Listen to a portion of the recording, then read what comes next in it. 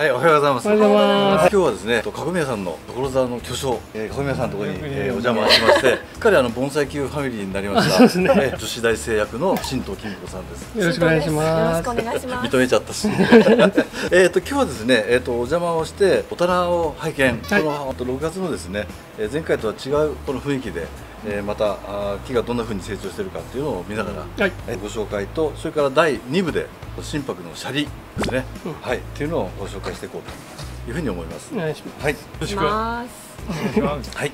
そうです最近はどんな木をやられてるとかあるんですか？最近はね好きな木あの、まあって言っても心拍。うん、ほとんど心拍。この量。心この量ありますね。この辺のこういう木はこの辺の木はさ3月頃購入10鉢購入してきた木なんでね。そんで6月の月花までに針金かけて畳んだ木なんでこういう月花っていうのは？あ月花。月花？はじめ。あ月。月の月の初め。初めね。はい。6月に畳んうん、まあ大丈夫なんだよね。いつでもさ、まあまあ大丈夫なんだけど、はいはいはい。ただあの針金かけてここにひねるとうん。皮がほらむけちゃうからさ、ね、水水が離れちゃうね。水水がね完全に剥がれちゃうからそれだけ注意してさ大きくここに曲げてあげてさ、はい。細かくやるときはあのラジペンでえー先だけでさ、はい。してあげれば。はい。シャリシャリはいつやられたんですか？これはね入ってたんだ、あ、入ってたんですか？この木は。えーあ、逆に言うと入ってたのを曲げたんです。か。そうそう、あそれがすごいですね。だからねこれがもう完全に乾いちゃってたからえすごい硬いんだよね、ええ。えだからなんかあれですか。お湯つけたりとか？いやいやな関係なく？何にもしないそのまま。うん。折れながら折れながら。曲げるってうんことですね。まあこういうのもまた味があって、ね、味があるってことですよね。いいかなと思ってさ、まあこれはほらん丸みきだったからえ。平らにさ削り込んで、はいはい。これは点でこのぐらいだったんだけど、はい。天神にえ作っえそれがすごいじゃないですか。この辺のシャリが。今日ね後半で。後半で第二部か。これが。すごいですよね。ね。これとええ。これが枝だったの。立立ってたんだよ、そんで一本は陣にしてええ。一本枝作りしこれなんかあれですか？くっつけようとしてるんですか？今。そうそうあのかあの形を作ろうとしてさ伸びちゃうから。膨らんじゃうじゃない。だからこの枝に沿い沿ってさええ枝をくっつけて。つけるっていううんまあくっつけるんだよね。別にあとタラクみたいにくっつけようとしてるわけ？そうそうえそう。あのもなんですか？うそのまんまの自然のまんまのあれでええこの幹にさええ。沿わしてっていうことで。あすごいですね。これちょっと川上さんには大きいサイズの。また。また出た。すぐもらおうとす ぐもらうと。冬とまた灰色が違ってきて、うんそうだいいなですね。うんちょうど今の時期があの緑がぐんと上がってきてるからはいうん綺麗だよな綺麗です心ね。これすごい。これ前見出したかね。見たかもしれないけどすごいですねすよねすごいすごいすごい葉っぱがなんか見るたび違うから、なんかここに定期的にこ来てき来ないと禁断します。そうですね。ただ今こちら正面でですか配いやね。こっちだねですよね。だからまあちょっとこれ今背が高いですけうんそうどですね、多分これがねちょっと強すぎるから、え枝をちょっと落としてあげようと思ってそうやっていってですね。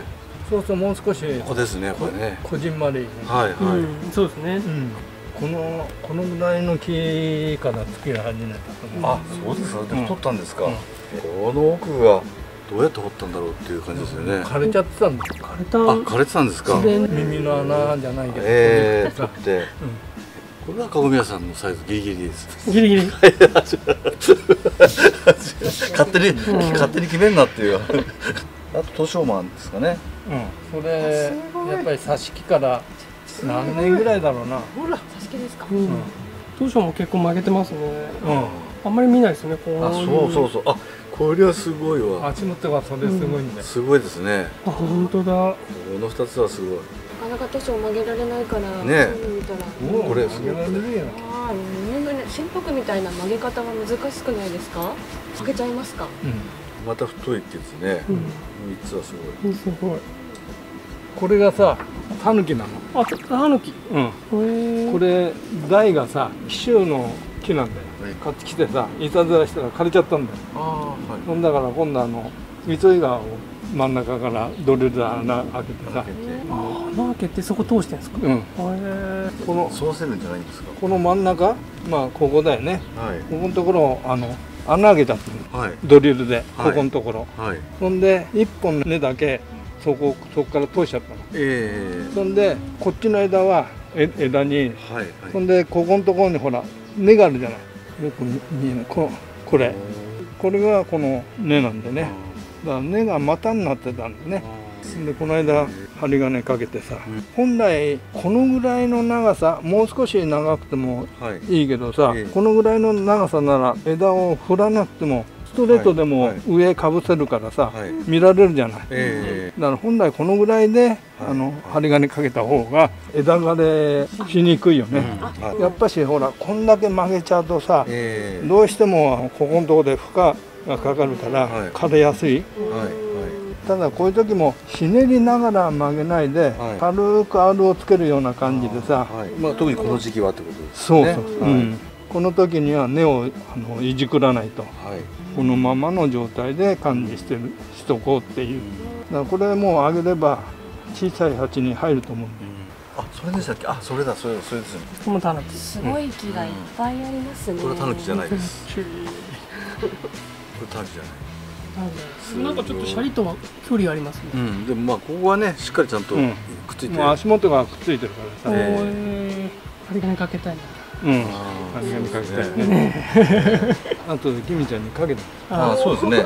女子大生に。でそれは君のミニ盆栽日和ではい。これだからあとこういうあれですよね。新種を伸ばしてるのは多分スギッパーだからっていうことなんですかね。それとやっぱり伸ばし伸ばしてさ、ええ。この元の方にスギッパを消すようにさ、ええ。伸ばし伸ばしちゃうんでね。伸ばしてってうんことですね。そうするとはい。今度はこあの元の方から、はい。あの本葉が出るからはい。そうしたらこっちを切っちゃえば、ええ。短くほら使えるはいはい。そうですね、うんなんかこう二つ説があって伸ばすと先端からようやく本葉が出てくる。そうそうそう、うん、そうなのだけどたまにやっぱ見るんですよね。懐から本葉が出てくるの、ありますね。ねえ、うん。そこら辺が何かテクニックがあるんじゃないかな、別に何のあれもないんですかね、マジシさんじゃないからマジシさんじゃない。これなんかだとほら結構もうほら元からあの本場本場になってんじゃない、まこれなんか。あはい。はいだからこういうふうになったらこの辺から詰めればさ、はい。はい。この距離で針金かけられるから、ええ。それとやっぱし伸ばすっていうことは木を太らせる、ええ。あ意味もあるんでね、そうですね。今は肥料は6月は？まあ、俺はやっちゃってる。やっちゃってますか、うん。あなんかこの間見たやつでないのもありますよねあのそそっちの方はない。ですねあのえ増えたってことですか？増えたとか減ったのもありますよね結構。え？下のもあるけどこの辺は全部、うん、この辺は新作。あそうなんですか。新作畳み込みさすが一休さんそれは前からあった木をこの間こっちを陣にはい。作り直してはい。針金かけた木が、はい。これし正面的にはイメージはどちら？こっちだろうな。こっちですか、ううん。こちらが正面です。んもう少しほら葉がさ混んでくればね、うん。はいもう少し見られる、はいえここがねい。いん。ですねすすごいですうん。ね石橋じゃない英明さん。だうん。足が丁寧ですねうん。作りが。畳み込みの師匠ですからやっぱ師匠畳込みの。畳み込みのね今日は。これなんかはうわ。2本このこの枝とこの今陣になってるの2本このぐらい大きかったの。そんでこれはただ寝かしただけでええ作った木なの、はいはい全然あの苦労もしないでできちゃった木。そんでこれだけじゃほらつまらないからえこのもう一本の方の枝をええ。陣にえ作ったえっていう。苦労してますよこれ、ここが板っぽくなってますね。うん。ね。これも彫刻で？そう。彫刻とあとヤスリね。はい。え生きてる枝からってことですか？そうこれはね。これを作ってるうん。これ前回の花木会で飾ったやつ。飾ったやつですよあね。よく覚えてはい。これもこれもちょい。これもおも面白くなってきえた面白いですね。でこれの作り方が次回の動画でわかるわけです。見れるっていうことですね。あチャンネル登録しないと。チャンネル登録してそうだいいねしないと。いいねとチャンネル登録これならさこれ今年伸びた枝なんだ。よそうするとほら短く止まるじゃない。えええんもっと長く出ちゃうとさ元から畳み込みながらえはい。あれしないとうん。伸ばしっぱなしだとこんな方まで来ちゃうからさ。だからこれなんかももうこの辺でもう少し経ったら針金かけてさほんで先をつまつまんで止めてやるっていうか。元気ですよね。はあの木がねみんな、うん。そうかな。いやー元気だと思いますね。俺はそんなに自分の木あんまりいいと思わないんだよ。あ曲げてね曲げてすぐそうはこれだけ。あれですけど。うねん。でも元気ですよね。曲げてすぐはねさすがに入れがあれですけど、あ臓臓器は？そうそう私もそう思ったんですよ。臓器も。臓器もちょっとね。私は6月すごい忙しいっていうこの間動画撮って小学もそうですけど臓器も。臓器も忙しそうだそうですね。はがりとか。うん、剥がりはしないね、ほとんど。あそうなんですね、へ意外とほら、あの葉が大きくならないのかなっていう感じ。お行儀がいいんですね、臓器がいい。まあ、鉢が小さいからうん。うん。でも1回ぐらいはやっぱりここういうのが春に1回出るんじゃないんですか？い一旦は。出る出る。出るんですね、うん。だから1回目。一回あの途中で走ったのは切るよ。あですよね、うん。ですね。でも剥がり剥がりはこれだけだ。下の。あー。あなるほど。もみじは春はしっかり袴取り袴取らないと絶対ダメだもんじゃ。ん。ー商品の世界ですよね。袴取りって。君の？おビニ盆栽日和でも紹介してますので ま間の立写じゃない。間の立写ともう飾れない。でえめっちゃいい木なんですけどこれだとほらここのところ見るとさ。はい。あすすごい細かいじゃん。すごいですね。枝枝が細くてさ、はいはい。これはなぜこういうふうになるかっていうと葉が出る前に袴っていう、袴。まだ出て、まあ、開かないうちに。そうそうそう。目の元の茶色っぽいやつですかう。ねん。こんな色できるんだ。茶色っていうか赤赤。赤。っぽいんですかね。あ赤っぽいやつですね。うん。どうするってもみじってこう間延びしちゃうんで、うん。ツーツーツーツーっと伸びちゃうんでそれがないっていうのが。まあこれはそういうあれがちょっとあのしにくい章だよな。舞姫って言ってあさ、これ舞姫ですか、高いですよ舞姫、高い。えあはいはい。よくねバッグに入れていかないとバッグに。ポッケですよね。今日なんかポッケの大きいズボン入ってきたら そうか。危ねえな。はいもみじと楓が多いのかなうん。もみじと楓だねこれも同じような形こういう作り方があるん。ですかこれあもーこれもぐるーっと丸めて丸めてこうそう潰した、潰してるん。でえくっついちゃうんですね。うん、あこれもそうだ。同じ。えでもだいぶ若い時にやんないと。ここまで来ないね。そうですよね、うん。結構も持ってる木なんですよ、うん。あの癒着しないじゃないこの曲げ曲げたところは、ん。若いと。うん。だから俺は蒸気は売らない。ん。だうんなかなか時間。作るの大変だから、大変だから、時間がかかるからさ、うん。ねもう90になるとなかなかこの先作れないからさ、え。90 90今おいくつですか？その年78ですよねまだまだまだまだ90までありますよ。なんで今90って言ったんですか？たまにこう冗談が入るんで 聞き逃さないようにしないマサキっていう木なんでね。ま、さきうん、この木はこの裏の方に垣根でよくある木なんだよマサキって。ほんでこれもオスメスがやっぱしあるの。ほんでこれさあの刺してからもう67年経ってる。うん。眉目に似てますね。前目に似てる。金ロバイとこれうんこれ金ロバ金ロバはやっぱしこういう水を好む木だからさ小さい鉢っていうのはなかなか難しいよね。そうですね。作るの。言いますよね、うん。水好きだって金ロバイは、うん。これがあの熊柳？熊柳。実がついてるのとうん。花がついてるの、これがもうぼちぼちこの黒くなるとどんどん落下しちゃうんだよね落ちちゃう。そんでこれが来年のまあ花芽だけど来年になんないとこういうふうに実にならないの。じゃあこれは去年花が咲いそうそうそうだから1年越すんだよね。我慢できずに切っちゃいそう。切っちゃいそう、うん。で やっぱり長く伸びる木だからさうん。あの都庁がさでも実がつけばすがねうんそうそう、うん、結構ね見られるからさ。うん。これが姫りんごうん。なんかすごい形。これもこっからこういうふうに持ってきた木なんだあこれも畳んでるんですか、うん、夢そん。で畳んであ揚げた木なのうん。細かったからさ、うん、太くするにはほら大変だからさ、まあ、丸めればここのとこだけはほらあの熱を持つし太りも早いだろうと思ってさ。うん。これで何年ぐらいだろうな。記憶にはないんだどけど。やのぐらいで癒着するんですっぱし10年はするんじゃないの？かあらそうですか。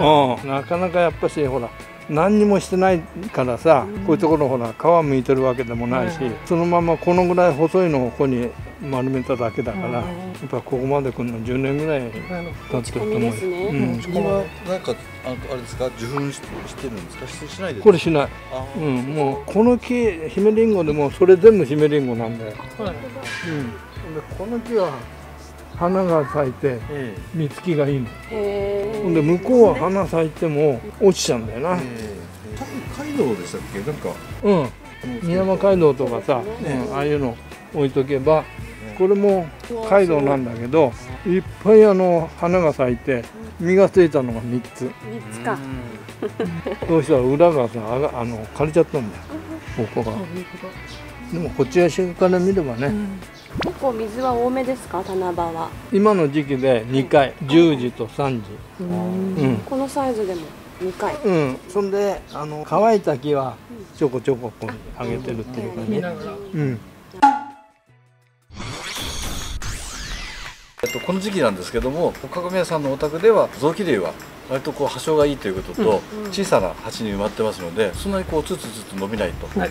い、うことなんでまあ小剥類心拍を中心に作業されていると。で針金掛けもひねらなければ大きなカーブであればかけられますと。いうことで、さらに、えーシャリがですね浮きやすいこの時期なんで、この後シャリを勉強しにあちらのステージで、えー行こうというなんか一言いいですか まああのほら今田口さんが「俺の同期は歯が小さい」って言われたけど、その一つってのは俺の欠点があるんだよね。っていうのは、植え替えが嫌いなこと。だ上から嫌いなからのです同期でもあの小さい鉢で45年は植え替えない木が結構あるん。だだからやっぱしいじけちゃって大きくならない。木も知ってるんですね。籠宮さんが植え替え嫌いだっていうのを知ってるから。そうだからそうそうそういうこと。伸びないようにしてあげようっていう。なるほど。ええ。飼い主にやっぱりね木が慣れるってことですよね。水やりも結局ほらあの1日この暑さで3回4回やる人も中にいると思うんだよね、でも木に1日2回だよって言う言い聞かせて言って。てはい。あの水をやればはい。2回で済むと思うんだ。よ、あーなるほどね。うん。はい。あと豆盆栽の場合は、後から手水をちょっとはいやってくれればいいかなと思いますよね。